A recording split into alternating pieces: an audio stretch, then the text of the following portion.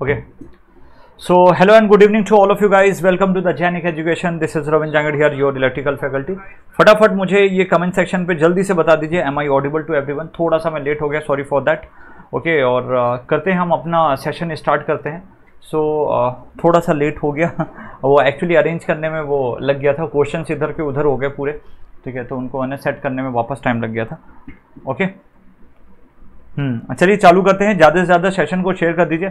छोटा सा सेशन होगा, बस ये बताने के लिए आज मैं सेशन के लिए आया हूँ कि कल से हम जो स्टार्ट करने जा रहे हैं दैट इज़ समथिंग इंपॉर्टेंट जो आप लोगों के लिए बहुत इंपॉर्टेंट बन सकता है, आपके एग्ज़ाम के लिए इंपॉर्टेंट बन सकता है, ठीक है? ऑलरेडी मैंने देखो बहुत बार इस चीज़ को ज़िक्र कर लिया। अब इलेक्ट्रिकल जो हमारा इलेक्ट्रिकल मटेरियल है तो इसका मैं शेड्यूल करवा लिया, आप चाहे देख भी सकते हैं।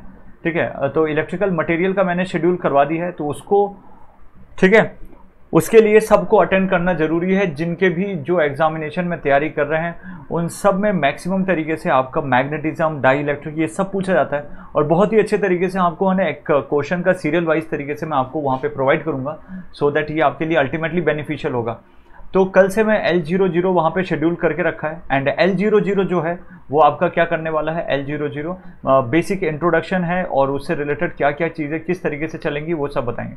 सेकेंड थिंग दोस्तों जो हमारा ट्वेंटी फोर्थ को एक बहुत इंपॉर्टेंट शेड्यूल था that is related with Chakde advance तो उसको हमने ट्वेंटी फिफ्थ को शेड्यूल किया गया है, ठीक है? ड्यू टू सम रीज़न तो ट्वेंटी फिफ्थ को शेड्यूल किया तो उसमें अटेंड करना मत भूलिएगा। और फिर हम है ना? तो बहुत इंपॉर्टेंट होने वाला है। आपने शेयर करवा दिया? हाँ हाँ मैंने शेयर करवा दिया डियर ओके चालू किया जाए? और वैसे भी कल की पीडीएफ ऑलरेडी मैंने यस यस ओके स्टार्ट किया जाए सो so, स्टार्ट करते हैं आज का session this is Telegram channel जो बच्चे नहीं जुड़े अभी तक वो जुड़ सकते हैं वो इंटरेक्ट कर सकते हैं. या कुछ पूछना चाहते हैं तो वो पूछ सकते हैं टेलीग्राम के थ्रू ओनली ओके व्हाट्सएप वाले यदि कहीं से नंबर मिल भी गया हो तो व्हाट्सएप पे रिप्लाई नहीं करते हैं बिल्कुल भी. सो so, मेनली आपका टेलीग्राम पे ही है. और this is uh genic learning app genic learning app में बहुत सारे एडवांस चीज़ें लाई गई जैसे P free classes mock test and a examination से रिलेटेड ओके सो हम स्टार्ट करते हैं आज का सेशन सो so, फटाफट फटाफट करते हैं। This is question number one आज मैं लगभग 11 क्वेश्चंस के आसपास ही लेके आया हूँ ओके बाकी सीआरओ से रिलेटेड लगभग चीज़ हो चुकी हैं। सी को मिक्स करके डी के साथ मैं कुछ क्वेश्चन प्रोवाइड करूँगा उसमें मज़ा आएगा। क्योंकि बाकी तो सीआरओ से रिलेटेड कुछ ज़्यादा चीज़ बची नहीं है ठीक है? है ही छोटा सा टॉपिक होता है सीआरओ और उससे रिलेटेड लगभग मैंने सब चीज़ बता दी। स्टार्ट करते हैं और इसको हमें जल्द से जल्द 20 मिनट के अंदर हम ख़त्म करना करने की कोशिश करें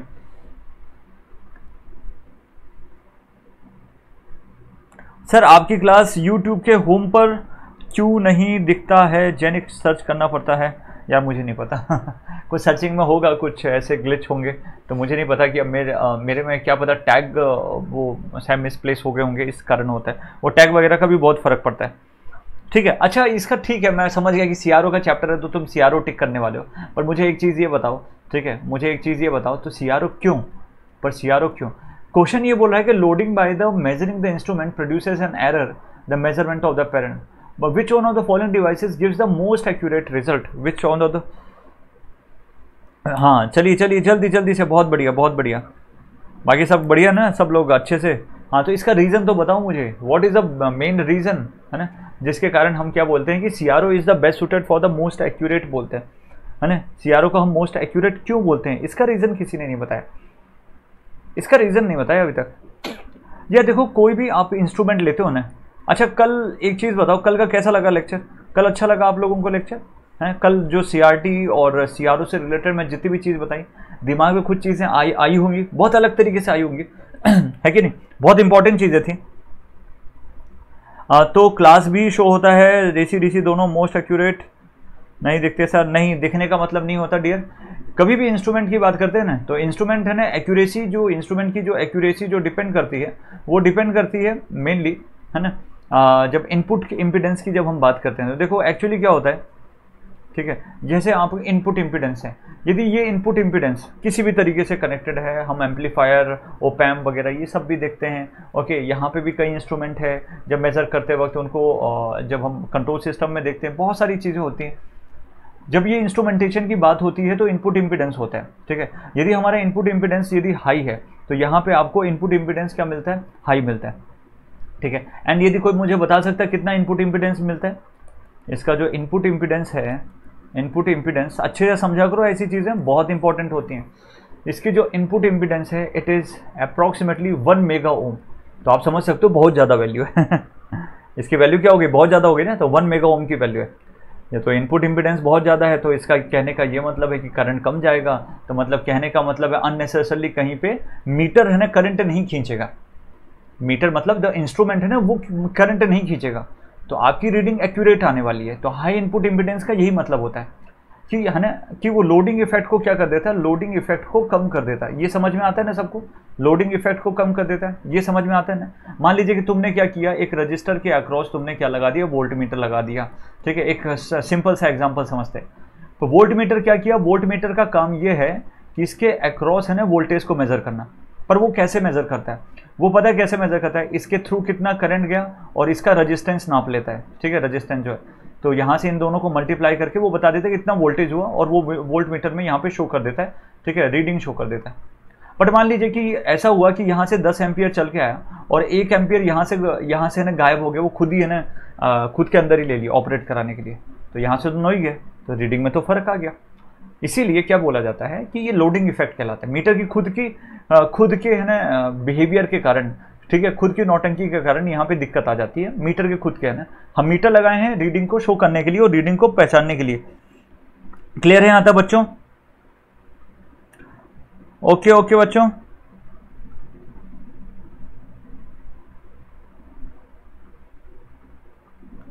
ओके ओके क्लियर ना बच्चों? यहाँ तक क्लियर हो रहे दीपक भाई best clear next question please हाँ बस करते हैं। ठीक है? तो ये चीज़ है। मेन है ना ये इंपॉर्टेंट चीज़ होती है ओके यहाँ तक करेंगे? चलो यार question number two question number two the C R O in the time based generator कल की बात हुई थी यहाँ पे आ, वही मैं कह रहा हूँ ना आज थोड़ा सा पी डी एफ़ में लोचा हो गया मेरे से। ठीक है? कॉपी पेस्ट करते वक्त है ना जल्दीबाजी में उल्टे सीधे हो गए थे। ठीक है? तो कोई दिक्कत नहीं है। यहाँ पे हम बात करते हैं। In a C R O the time based generator इन्हीं में दोनों में से ऑप्शन आंसर है। द सप्लाई रैम्प वोल्टेज कल यदि तुमको डायग्राम रट गया होगा ना दिमाग में तो चुटकी भर में तुम आंसर दे सकते हो इसका। चुटकी भर का आंसर दे सकते हो। दो मिनट का काम है ये। हम्म। बताओ बताओ। कल का ही है, कल का ही है डायग्राम ए बोल रहे हैं ठीक है, पक्का? So this is the a option is perfectly correct the time based generator यदि नहीं याद आ रहा है तो मैं दो मिनट में याद भी दिला देता हूँ, क्योंकि कल ही चीज़ पढ़ाई हुई है और बहुत अच्छे से मैंने डायग्राम इंक्लूड किया था। मैंने बोला था ना, एक साथ कंबाइन करके बहुत सारी चीज़ दूँगा। तो this is the time based generator जो एक्चुअली कहाँ पे लगा होता है? ये। This is the time based generator clear है? दिख गया? ठीक है? और हॉरिजॉन्टल एम्पलीफायर के लिए यूज़ होता है। क्लियर है यहाँ तक? एक एक चीज़ क्लियर और कल के क्वेश्चन प्लस आज के क्वेश्चन कंबाइन करके मैं आपको दे दूँगा। तो यहाँ से क्या हुआ? The C R the time based generator supply the ramp voltage या शॉर्ट टूथ ठीक है? और आप बोलोगे यहाँ पे शॉर्ट टूथ शॉर्ट टूथ ठीक है? तो वो क्या प्रोवाइड करेगा? द हॉरिजॉन्टल डिफ्लेक्टिंग प्लेट्स को प्रोवाइड करता है, ठीक है? जो कल हमने देखा था।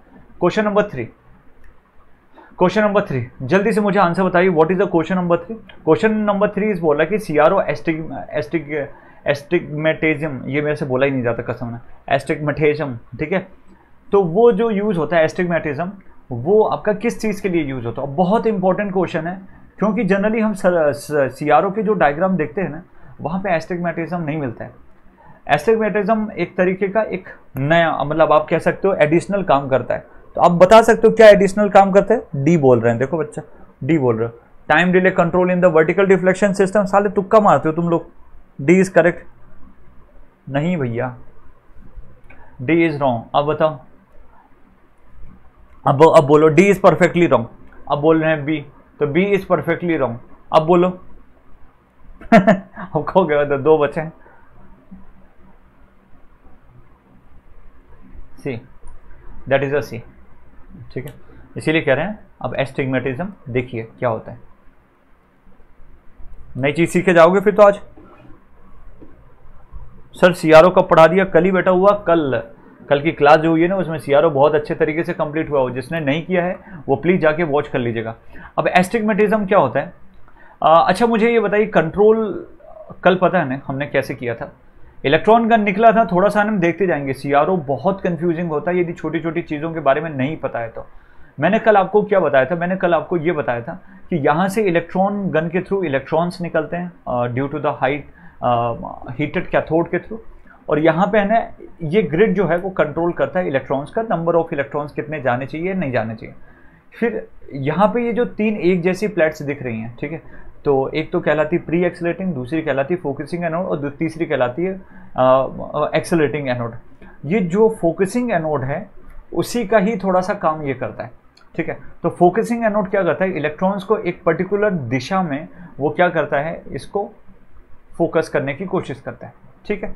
एस्टिगमेटिज्म क्या होता है? एस्टिगमेटिज्म वही एक एडिशनल टाइप का फोकस कंट्रोल है।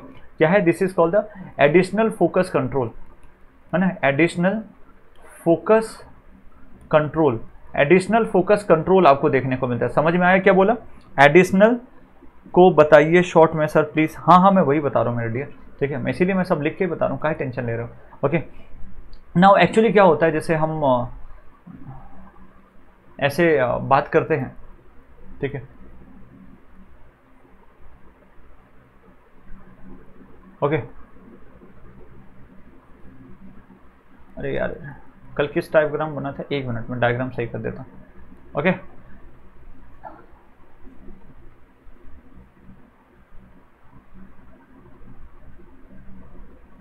ये। आप यदि देखोगे तो इलेक्ट्रॉन जब यहाँ से डिविएट डिफ्लेक्शन और होता है मतलब हॉरिजॉन्टल और वर्टिकल डिफ्लेक्टिंग प्लेट है ना? तो क्या होता है कि कई बार इलेक्ट्रॉन्स के लिए ये पाथ ज़्यादा बड़ा हो जाता है, ये कम पाथ हो जाता है, ठीक है?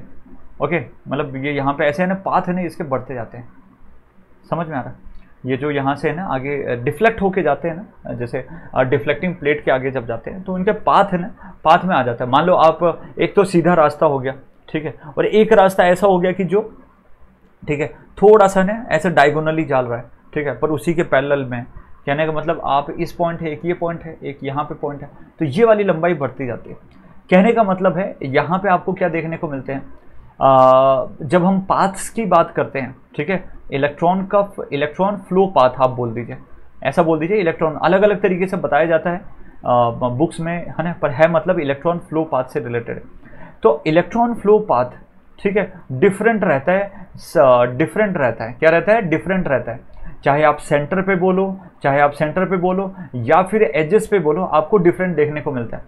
तो बाय यूजिंग द एस्टिगमेटिज्म ठीक है, जो एक्चुअली ऑप्टिकल जो फोकस होता है ऑप्टिकल फोकस ठीक है ऑप्टिकल लेंस वगैरह होते हैं ना, उनमें फोकस का जो काम करता है, वो एस्टिगमेटिज्म प्रोसेस के थ्रू होता है। एस्टिगमेट मैं तो देखो बोला ही नहीं जा रहा। एस्टिगमेटिज्म जो फिनोमेना है, उसके थ्रू होता है। सेम फिनोमेना यहाँ पे भी यूज़ होता है, यदि हमको एडिशनली फोकस कंट्रोल करना है तो। अब इसके कारण क्या होगा?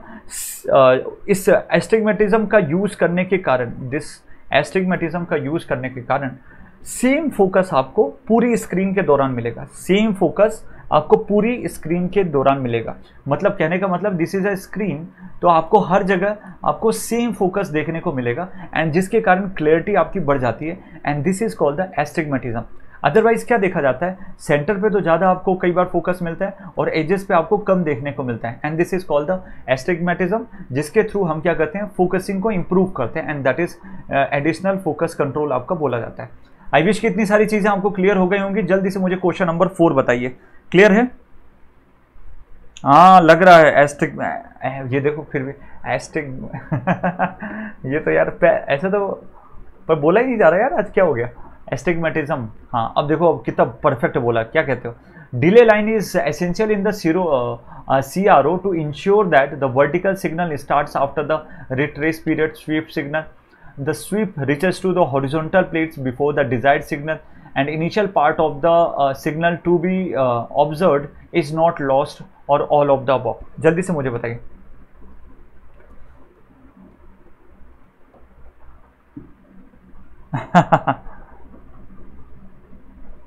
D D D D okay okay all all all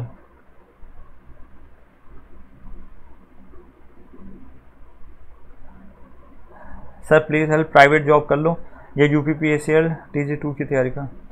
आपके ऊपर कॉल है ठीक है आपकी कंडीशंस हैं किस तरीके से। uh, मैं यहाँ पे सजेस्ट ये कर सकता हूँ यदि आपने तैयारी करके रखी तो टीजी टू के लिए ट्राई करने में कुछ नहीं जाता। आप ट्राई कर सकते हैं पर मोटिवेट होकर और बिल्कुल फोकस होकर थोड़ा सा और एफर्ट डालना पड़ेगा। यदि आपको लग रहा है कि ये जो अभी पेपर गया है वो आपका अच्छा नहीं गया तो दूसरे के लिए आपको और मेहनत से करना पड़ेगा और वो आपका कॉल होगा ठीक है? और बिल्कुल फोकस होकर हंड्रेड परसेंट एफर्ट डाल के करिए हो जाता है। ठीक है ईजिली हो जाता है। तो टेंशन मत लीजिए। प्राइवेट के लिए यदि आपकी घर की स्थिति कई बार होती है, हम बच्चों की घर की स्थिति के अकॉर्डिंगली हमको रुक करना पड़ता है तो वो आपका, आपको थोड़ा बैठ के सोचना पड़ेगा उसके लिए, ओके? बट आप ट्राई कर सकते हैं मेरे हिसाब से, आप ट्राई करना सही रहेगा। ठीक है? So this is all D ठीक है? कल इससे रिलेटेड मैं ऑलरेडी बता चुका हूँ so no need to worry okay? So now question number five It is desired to make the accurate measurements of the voltage using the CRO. Which one of the following items should be taken into considerations of this measurement? पहला हो गया electrostatic deflection type CRT magnetic deflection type CRT small deflection measurement at the centre of the screen large deflection to cover the entire screen so जल्दी से मत बताए बताए। जल्दी से। यस नेक्स्ट वैकेंसीज बहुत सारी वैकेंसीज आती जा रही हैं और धीरे धीरे आपको मिलेंगी तो इतना परेशान नहीं होना है।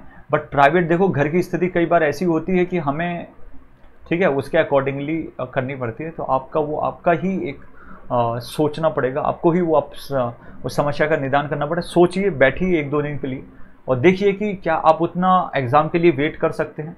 या आपकी कंडीशन इतनी सुटेबल है कि हाँ आप कर सकते हैं। तो बिल्कुल फिर गवर्नमेंट एग्ज़ाम के लिए जाइए। और लग रहा है कि बहुत ही ज़रूरी है। ठीक है अभी नहीं वेट कर सकते। अब बहुत दिन हो गया ऐसा कुछ है। तो फिर आप फिर प्राइवेट के लिए भी ट्राई कर सकते हैं। तो ऐसा है। ठीक है तो दोनों कंडीशन देखना पड़ेगा। यूपीसी एग्ज़ाम के अनप्रिंटेड हैं सिलेबस का क्या कोई पता नहीं जैसे कवर करे। हाँ ये तो है, ये थोड़ी दिक्कत है बट ठीक है, हम अपने एंड से ट्राई करेंगे कि ज़्यादा से ज़्यादा चीज़ें आपको प्रोवाइड कर सके, वो ज़्यादा बेटर रहेगा। ठीक है? चलिए क्या है question number five question number five क्या बोल रहा है? It is desire to make the accurate measurements ठीक है of the voltage using the C R O which one of the following item should be taken in to the consideration of the measurement मतलब C R ओ से related है कौन कौन सा होना चाहिए? अब देखिए electrostatic deflection type taken in to account for this measurement selection the correct code using the code given below electrostatic deflection type C R T to accurate measurement accurate measurement की कभी भी बात होती है ना तो electrostatic deflection type generally use होता है। और वैसे भी इस चीज़ का ना, देखो इलेक्ट्रोस्टैटिक मैंने नहीं पढ़ाया है अभी, क्योंकि मैं शॉर्ट थ्योरी सेशन चल रहा है। पर ऐसे लॉजिकली ना, हमेशा याद रखा होगा, कभी भी वोल्टेज की बात करते हैं ना इलेक्ट्रोस्टैटिक पोर्शन आता है जहाँ पे हम वोल्टेज की बात करते हैं कैपेसिटर आता है। और यदि हम मैग्नेटिज्म की बात करते हैं तो मतलब इंडक्टर से रिलेटेड चीज़ आती है, ठीक है? And that is current and that is current समझ गए? तो थोड़ा रिलेट करके इलेक्ट्रोस्टैटिक तो डिफ्लेक्शन सही होगा, बिल्कुल हंड्रेड परसेंट तो मैग्नेटिज्म डिफ्लेक्शन उससे ज़्यादा बेटर मैग्नेटिज्म जो डिफ्लेक्शन होता है, वो कम होता है उससे। तो ये गलत हो गया, ठीक है? तो यदि आपको एक्यूरेट चाहिए एज कंपेयर टू दिस ठीक है electrostatic deflection is good small deflection measurement at the centre of the screen ठीक है? Large deflection to cover the entire screen ठीक है? बिल्कुल सही है। This is the large deflection चाहिए सो so दैट हम पूरी, ठीक है? ऑब्वियसली लार्ज डिफ्लेक्शन चाहिए। मान लीजिए कि बेटा तुम्हारे पास स्क्रीन है और डिफ्लेक्शन तुमने इतना ही देके रखा है यहाँ पे, ठीक है? और तुमने इतना ही पुश किया है। देखिए, ये स्क्रीन है और तुमने हल्का सा पुश किया है तो यहाँ तक जाएगा। इसको ज़्यादा पुश किया, ज़्यादा डिफ्लेक्शन दिया तो यहाँ तक जाएगा। समझ में आ रही चीज़ें? लॉजिक से थोड़ा याद रखो, कल बाकी चीज़ें बताई हुई हैं। आप उसको रीड करके, है ना, आराम से कर सकते हो। है ना we we need the large deflection अब पहला और चौथा, पहला चौथा a option is perfectly correct ठीक है? A option is perfectly correct clear है बच्चों? यहाँ तक क्लियर हुआ? चलिए सो मूव करते हैं क्वेश्चन नंबर सिक्स की तरफ़ क्वेश्चन नंबर सिक्स की तरफ़। अब वो चीज़ आ रही है जो एक्चुअली आपको एग्जामिनेशन में बहुत ज़्यादा पूछी जाती है लिसाजस पैटर्न से रिलेटेड आज हम बात करेंगे। क्लियर है यहाँ तक? क्लियरिटी मिल रही है। ठीक है? ए ऑप्शन के लिए ध्यान रखना। Lissajous pattern obtained on the screen Lissajous pattern obtained on the screen CRO की जो डिस्प्ले स्क्रीन होती है वहाँ पे लिसाजस पैटर्न को जब ऑप्टेंड होता है, वो एक्चुअली किसके लिए होता है? वो किसके लिए होता है? लिसार्जस पैटर्न एक तरह से ग्राफिकल टूल है, जिसके थ्रू हम फ़ेज़ शिफ्ट निकालते हैं और एक और फ्रिक्वेंसी की बात करते हैं। तो यहाँ पे फ़ेज़ शिफ्ट दिया है, इसलिए फ़ेज़ शिफ्ट की बात करते हैं। एक और दूसरी कौन सी चीज़ है? That is a plus frequency हम फ्रिक्वेंसी से रिलेटेड भी क्या करते हैं? बात करते हैं। फ्रिक्वेंसी से रिलेटेड भी बात करते हैं। समझ में आए बच्चों? फ़ेज़ शिफ्ट एंड फ्रीक्वेंसी दोनों याद रखना है, क्योंकि यहाँ पे फेस शिफ्ट ही दिया था तो phase shift is right answer पर मान लीजिए कि फ्रीक्वेंसी बोलता है तो फ्रीक्वेंसी भी आपका आंसर में होगा। ठीक है? तो question number six now question number seven good question Lissajous pattern का थोड़ा आइडिया अब लगना चालू नहीं, अभी ये तो नहीं है। ठीक है? ये नहीं है। लिसाजस का, मेरे को लगा लिसाजस का यही चलिए, बहुत इजी क्वेश्चन है इजीली कर सकते हो। ठीक है सिग्नल से रिलेटेड है, थोड़ा सा भी सिग्नल्स और वे फॉर्म के बारे में आइडिया होगा तो बिना लिसाजस और सीआरओ के भी कर डालोगे। इसकी कोई ज़रूरत नहीं पड़ती। जल्दी से मुझे आंसर देके बताइए what should be the correct answer question ये बोल रहा है कि one cycle of the square wave signal observe on the oscilloscope found to be occupy six centimetre है ना? वो एक, जैसे मान सकते हो कि कोई वेव फॉर्म है तो उसका सिक्स सेंटीमीटर का ये दिख रहा है लेंथ दिख रही है, ठीक है? ऑसिलोस्कोप में scale setting and thirty micro second for ये at a scale setting of thirty micro second per centimetre तो अब मुझे ये बताइए, क्या मैं इसमें टाइम की बात कर सकता हूँ? हाँ सर टाइम पीरियड की बात कर सकते हैं, क्यों नहीं कर सकते? टाइम पीरियड की बात। मतलब क्या हुआ कि मैं ग्राफ लिया जैसे आ, शायद आप कभी कॉलेज वगैरह में और स्कूल्स में ग्राफ नहीं ड्रॉ करते थे। 10 सेंटीमीटर इज़ इक्वल टू इतना इतना खांचा है ना इतना ब्लॉक ऐसे करते थे ना पर वैसे ही है यहाँ पे कुछ सेटिंग की गई है यहाँ पे कुछ उसका नोटेशन प्रोवाइड किया गया। तो टाइम पीरियड जो होगा मुझे आप खुद बता सकते हैं कि ये जो का ये जो स्केल सेटिंग है वो कितनी है? Thirty micro second per centimetre है। और इसको छः सेंटीमीटर से मल्टीप्लाई कर दो। सेंटीमीटर सेंटीमीटर कट गया तो छः तें अठारह, एक सौ अस्सी माइक्रो सेकेंड हो जाएगा। समझ में आ गया? और मुझे ये बताओ फ्रीक्वेंसी की कभी भी बात करते हैं तो टाइम पीरियड के डिवाइडेड में होता है। टाइम पीरियड के उल्टा होता है। तो वन अपॉन टाइम पीरियड कितना हो one eighty multiplied by the ten rest of minus six तो यहाँ से कुछ आंसर आता है कैलकुलेट करना पड़ेगा तुम लोग को। What is the correct answer a is not the correct a is not the correct बेटा। A is not the correct no what is the signal frequency बेटा? अरे, अबे किलो हर्ट्स किलो हर्ट्स ये क्या होता है बच्चा? ये क्या होता है? डिवाइड करके जल्दी से आंसर बताओ। अरे, तुम लोग मज़ाक मस्ती है ना? मज़ाक मस्ती में अपने नंबर कम मत करवा लेना। तुम हज़ार मज़ाक मस्ती करो, हमको कोई दिक्कत नहीं है। पर मैं ये कहूँगा कि आंसर गलत मत दिया करो। आंसर देते वक्त कंसंट्रेट हो जाया करो। बाकी कितनी भी बकैती करनी हो, करो। ठीक है? हाँ मैं वैसे देख रहा था तुम लोग की कमेंट बाजी जब मेरा लैपटॉप चालू नहीं हो रहा, मैं यहाँ देख रहा हूँ कि बकैती बकैती मारे जा रहे एक लड़का पकड़ा भी था। डी ऑप्शन 55 पॉइंट मुझे चेक करने तो मुझे आइडिया नहीं है। कैलकुलेटिव है तो मुझे या तो मुझे कैलकुलेट करना पड़ेगा, या दो मिनट रुको, मैं इसका आंसर चेक कर लेता हूँ। क्वेश्चन नंबर सेवन का 5.55 5.55 आ रहा है। That is a B option आ रहा है। कोई डी बता रहा था मेरे को। डी नहीं है, शेख शेख साहब। शेख ताहिर जी है ना डी ऑप्शन नहीं है that is a B option 5.55 kilo hertz आ रहा है. प्लीज़ चेक इस चीज़ में कंफ्यूज मत होना. यहाँ पे है ना थोड़ा सा ही फ़र्क है पर आपका नंबर गवा सकता है इसलिए कंसेंट्रेट होना है. बी ऑप्शन एक बार चेक करिए ना please Sudarshan Vaibhav ji good evening मेरे भाई. जल्दी से जल्दी से बताओ. क्लियर है यहाँ तक? क्लियर ना? चलिए. क्वेश्चन नंबर एट अब ये लिसाजस पैटर्न से रिलेटेड है ना?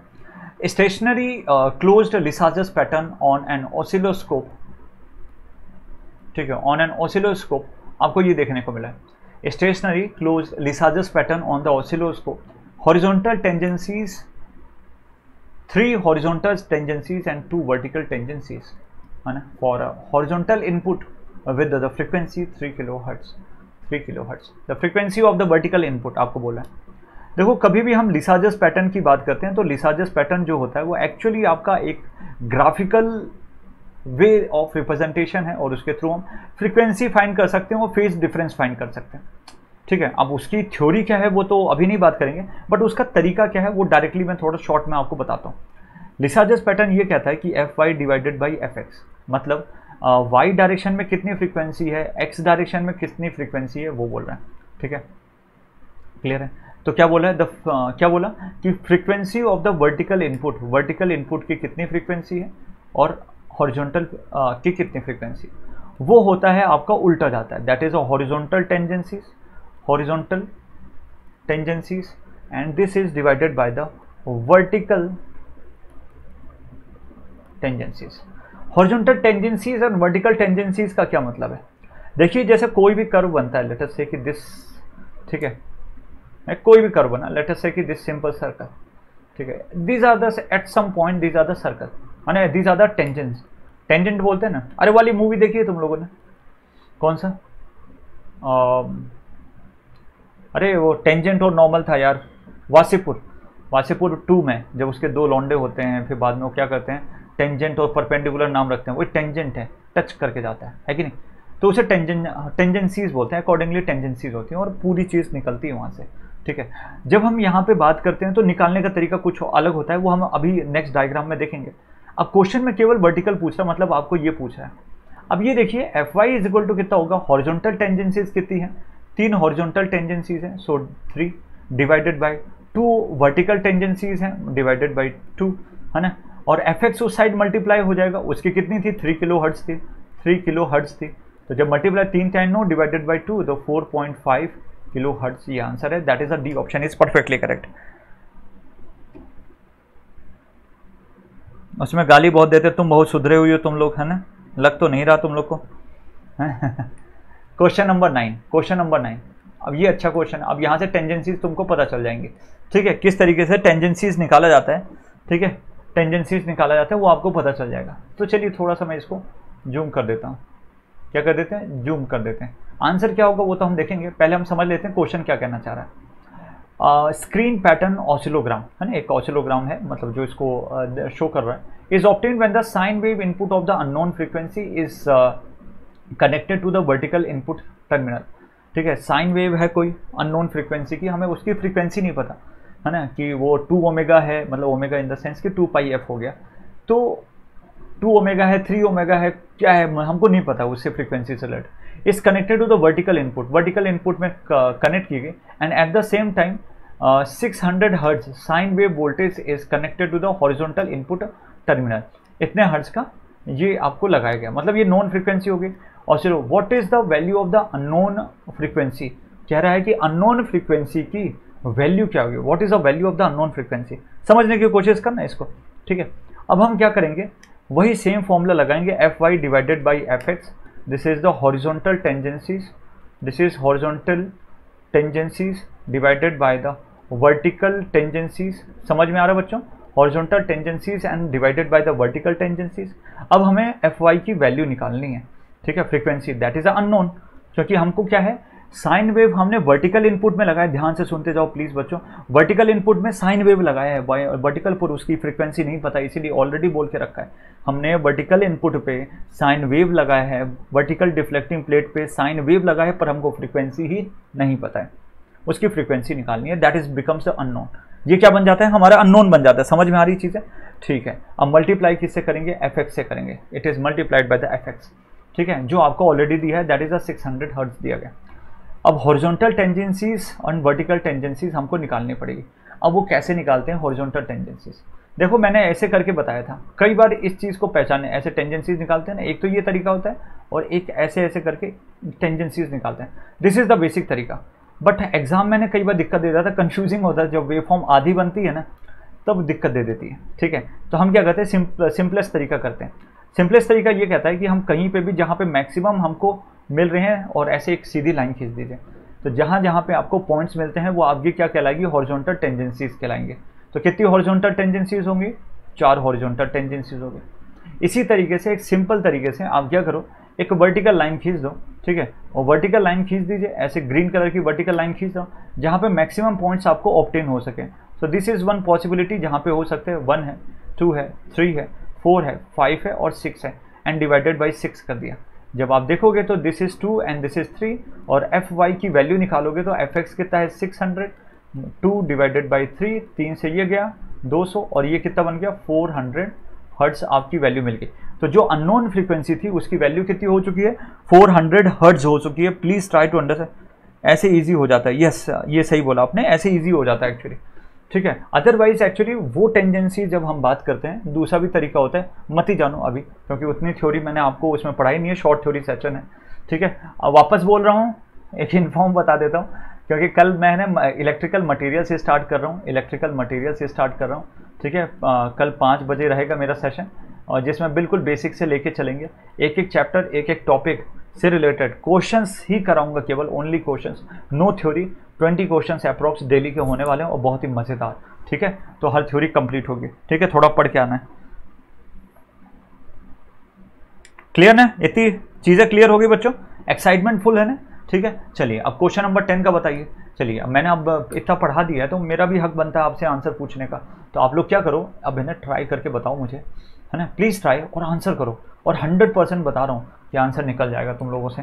हाँ हंड्रेड परसेंट बता रहा हूँ। सर ट्रांसड्यूसर नहीं पढ़ाओगे? और ट्रांसड्यूसर पढ़ाएँगे? सैटरडे संडे को हमारा ये रहेगा केवल इलेक्ट्रिकल मटेरियल्स मंडे से फिर वापस हम ट्रांसड्यूसर से आ जाएँगे। ठीक है? मतलब Monday to Friday Monday to Thursday हम मेज़रमेंट रखेंगे। फ्राइडे सैटरडे संडे हम क्या रखने वाले हैं? इलेक्ट्रिक मटेरियल्स रखने वाले हैं। ठीक है? तो दोनों चीज़ साथ में चलती रहेंगी। चलिए, जल्दी जल्दी से। क्लियरनेस आपको क्लियरिटी है ना? मंडे टू फ्राइडे वापस लिख देता हूँ यहाँ पे। ठीक है? वापस लिख देता हूँ। मंडे टू फ्राइडे आपका क्या होगा? मंडे ट्यूसडे वेडनेसडे थर्सडे ये चार दिन हमारा क्या लेने वाला है? मेज़रमेंट रहने वाला है।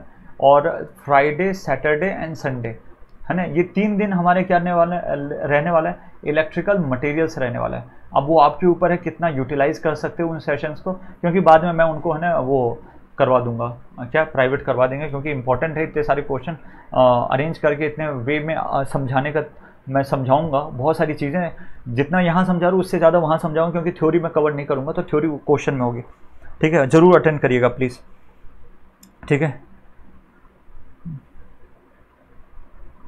वेब कैम अरे भाई, तेरे को गंदगी फैलाने की और कोई जगह नहीं मिल रही है। ठीक है? गजब लिच्चड़ इंसान हो भाई, हैं? मतलब तुमको दुनिया में और कोई जगह नहीं मिल रही है अपनी गंदगी फैलाने के लिए। यही जगह मिली है तुमको गंदगी फैलाने के लिए, हैं? बकलोल इंसान। अब तुमको ब्लॉक करें बेइज्जती के साथ जाओगे या खुद ही चले जाओ इज़्ज़त उठा के ठीक है? वेबसाइट। क्या गंदगी फैला रहे हो सालों? पगलेटो चलिए, इसकी हॉरिजॉन्टल टेंजेंसीज देखते हैं। बहुत आसान है। यदि एक्स फिगर की बात करते हैं तो यहाँ से देखिए, इस वाले फिगर में एक, दो, तीन, चार, पाँच, और ये छः हो गया। तो सिक्स डिवाइडेड बाय कितना हो गया? सिक्स डिवाइडेड बाय अब वर्टिकल ले लेते हैं ना? हॉरिजॉन्टल डिवाइडेड बाय वर्टिकल है। तो वर्टिकल में one two three four six divided by four that is a three by two है ना? That is three by two अब इसमें देखिए कितना होगा? ठीक है, ये थोड़ा सा ऐसे जाएगा। आप ऐसा समझ लीजिए, है ना? अब हॉरिजॉन्टल टेंजेंसीज देखो वन टू थ्री तो यहाँ से three divided by vertical tangencies one ऐसे जाएगा one two three by two so which option is perfectly correct three by two three by two that is a D option is perfectly correct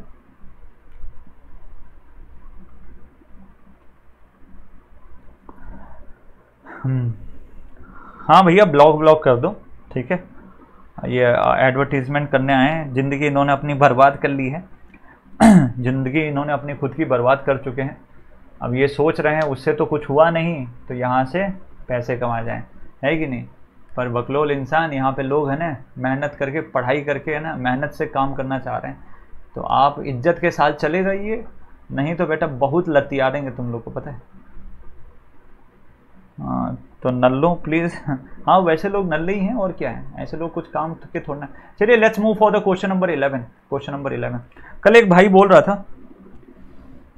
ठीक है?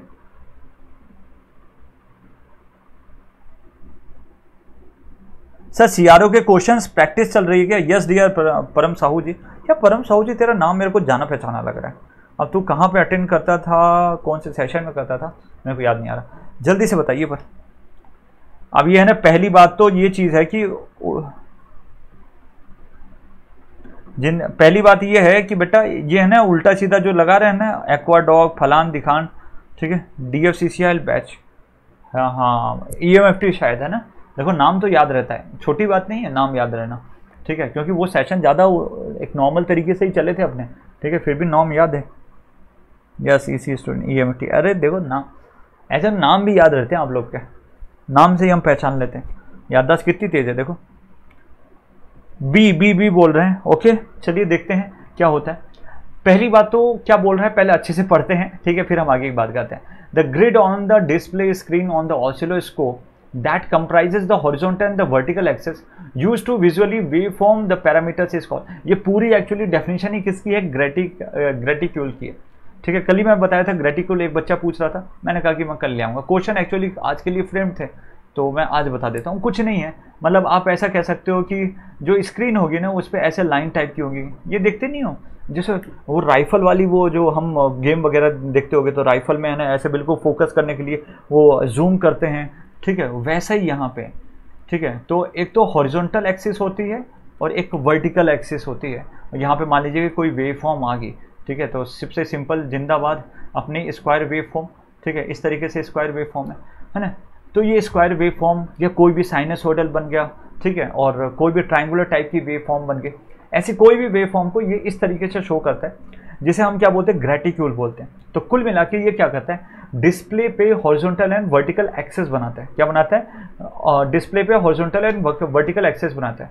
और यह कह सकते हो display पे ग्रिड्स आपको देखने को मिलते हैं, ठीक है? And which shows the wave form ये क्या शो करता है? वेव फॉर्म शो करता है। So this is the answer B तो ये याद रखना, इसकी डेफिनेशन ही यही है। इसमें और कुछ नहीं लिखाया जाता, यही डेफिनेशन ही लिखाया जाता है वही क्वेश्चन के माध्यम से पूछी गई। तो question number eleven is done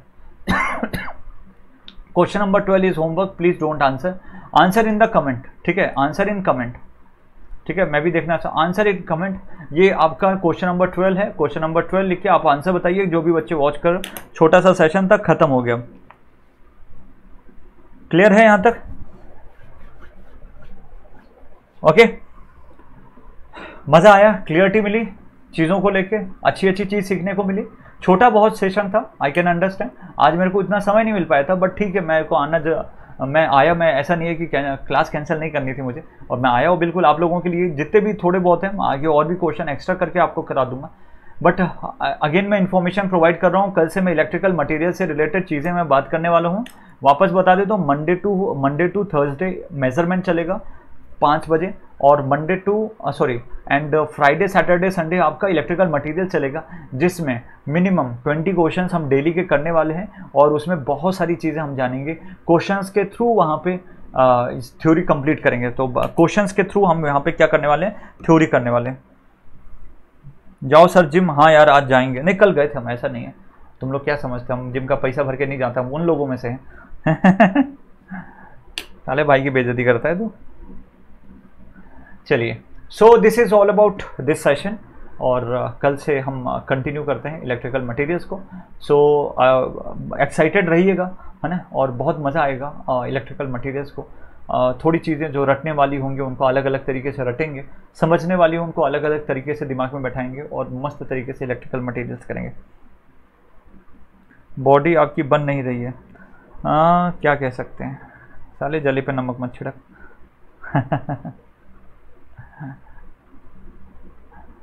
ठीक है? सो दोस्तों, कल मिलते हैं और ध्यान रखिएगा। हाँ एक चीज़ और कि जो चक दे एडवांस जो हमारा एक सरप्राइजिंग आप एक सरप्राइजिंग एलिमेंट या सरप्राइजिंग टाइप की जो जेनिक्स से आने वाली, क्योंकि इस पर कुछ कमेंट नहीं करना चाहता, क्योंकि बहुत एक अच्छा सरप्राइज़ है जो आप लोगों के लिए शायद बेनिफिशियल हो सकता है, क्योंकि आपके बहुत सारे सपने उससे पूरे हो सकते हैं।